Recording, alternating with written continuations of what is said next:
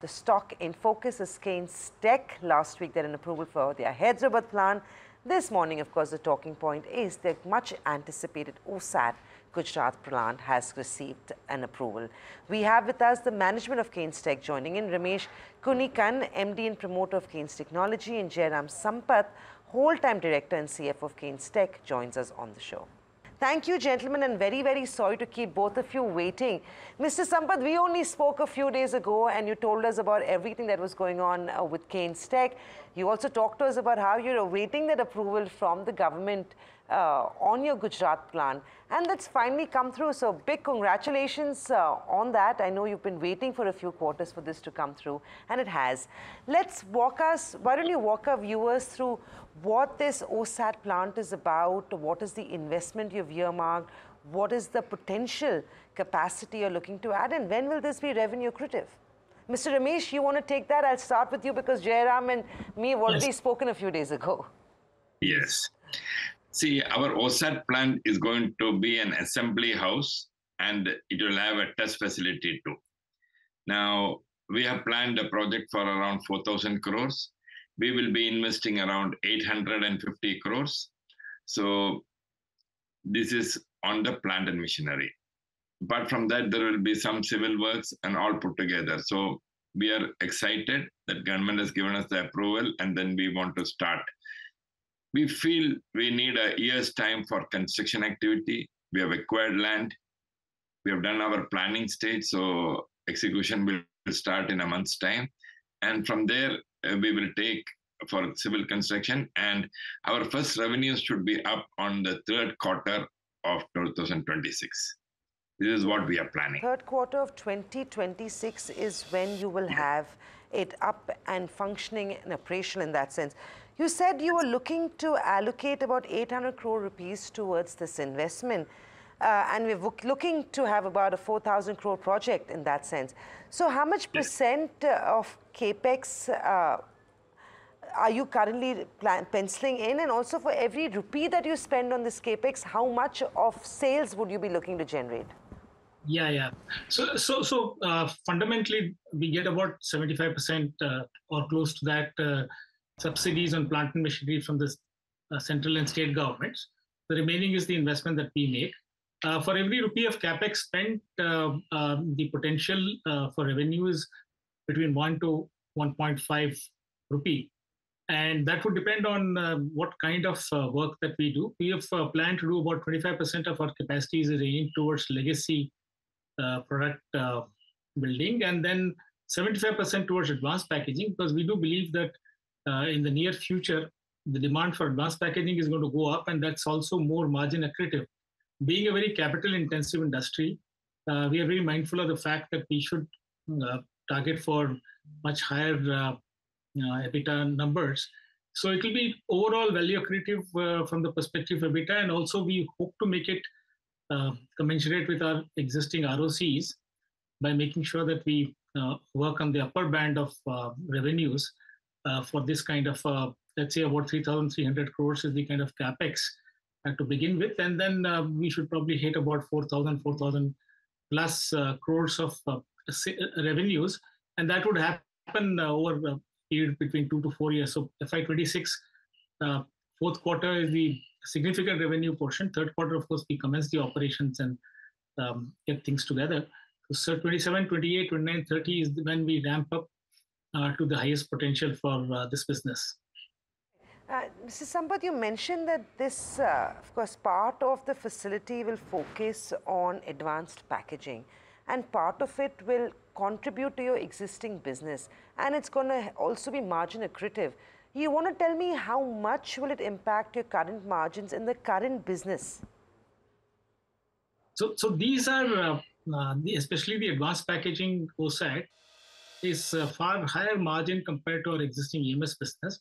The only cash there is to have a um, good set of clients so that we get reasonable revenue output and good capacity utilization. So uh, broadly speaking, margin uh, uh, will be uh, significantly higher. Let's say the current business runs at about 15%. These margins could be 18, 19% uh, kind of uh, EBITDA margins. maybe even higher because uh, they consume more capital. so, so net net, uh, we'll be happy if this gives us early 20s in terms of ROC, and the margins, uh, of course, will be consequently higher than the existing company's consolidated margins. Yes, Mr. Sampath, and your margins anyway are highest in the EMS space. I mean, there's very few that come close to in terms of margin lucrativity in that sense. Uh, you said what would be critical for this advanced packaging business to kick off is having clients and customers. Uh, would existing clients be your potential clients for the advanced packaging? Are you in conversation with potential clients? Because I'm assuming this would have been an idea that came to you because there was a demand or a need from the industry, right? This is not from our existing clients we have been working with some clients for getting there and uh, we have got good traction and we will be there uh, moment our plant is set up. We have got good commitments from our clients these for are advanced semi- package yeah. These are semiconductor companies who work in the new generation of uh, technology areas and they need some companies to help them with uh, packaging especially in the advanced packaging area. Of course there are traditional capacities for legacy set up all over south asia china and uh, even Western world. Uh, but our target is to limit uh, our exposure to legacy technologies to about 25%, and remaining 75% we want to work in the newer generation of packaging, including some of the latest generation of wafers like silicon photonics and so on. So our, our endeavor is to make sure that we become one of the uh, suppliers who can participate in the new generation of uh, packaging technologies which is currently the province of people in Taiwan and Korea and Japan and so on. You know? Is the, how big is the potential here, Mr. Sampath? I know there is enough and more competition from outside the country, like you said. But what is the potential in this advanced packaging space? Uh, highly margin accretive, highly revenue accretive, and I mean those margins have are, are, are fantastic to say the least. But what is the size of the potential we are talking about here, and how much market share do you see uh, Kaynes own two to three years out? So, so we would, uh, even at the peak uh, mm, realization of our revenues, we would still be sub billion dollar, which is a tiny portion of the market. Markets um, are pretty high. And uh, so, from the perspective of it is similar to the EMS industry that we are facing. Uh, the markets are much, much larger than what capacities that we can actually offer. So, from that perspective, uh, I think uh, demand uh, will exceed the supply as far as the advanced packaging and those kinds of areas are concerned. Also, India is very much poised actually. If you uh, talk about, say, the government's mm, help in this entire regard, I think I'll request Ramesh to talk about uh, the help that government is giving actually in terms of getting this entire thing off the ground. We should really thank the central government for sanctioning this project for Kaynes. And having said that, uh, see this type of an industry can come up only with the government help. If you see globally most of the countries government has pitched in and this is exactly what our central government also has done. Yeah. so net net maybe next couple of decades uh, we have enough of uh, demand to go by.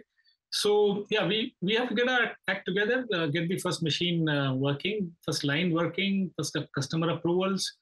Then of course uh, complete our plan and then uh, think about you know further validations it's exciting, and I think thank you both because both of you have joined us from London. We just realized it's very early in the morning there, but thank you for joining us on TV. I'll just quickly follow this up with uh, two more questions. Uh, you know, your order book is extremely healthy. Your average inflow stands to the tune of 480, 490 crores a month. And also the other thing that has stood out for us is your working capital days had dropped or you were operationally working on improving that at least up until the last quarter. Uh, is there any risk with this new project coming on board, new businesses, you know, contributing to your top line, your working capital days could be impacted? And also, I know you were sitting on your QIP funds that were raised. Uh, most of those funds will be utilized for these plans? Yes. Yes. I think, uh, uh so from that perspective, we are now ready. There is no uh, hitch in terms of company investment as well as subsidies. So all has fallen into place, and uh, these businesses are a little more efficient than EMS business because the inherent varieties will be still smaller than the our current EMS business. A number of customers also will not be um, proliferated here. There, there, are only um, maybe up to about 10 customers that we would have. So from that perspective, the supply chain uh, related uh, risks are minimal to say the least. And a bulk of the material also is consigned to us so by the semiconductor companies. So from that perspective, uh, the exposure that company has is only in the common raw material space, which is uh, so from the perspective of number of days, etc., it will be even better than what we have in the EMS industry. Thank you, thank you, and congratulations again. You'll both uh, have a good trip in London, and we'll hopefully catch you back in India in person for a more detailed conversation. I'd love to understand more about the PCB approval as well, which uh, I believe Kaynes Technology is awaiting. But good luck and congratulations, gentlemen.